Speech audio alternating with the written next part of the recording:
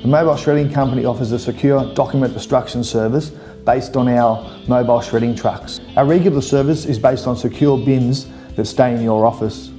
When they're ready for collection, we come by, we take them out to the truck, shred the contents and return the bin. We come to you and we shred all our documents on site at your premises.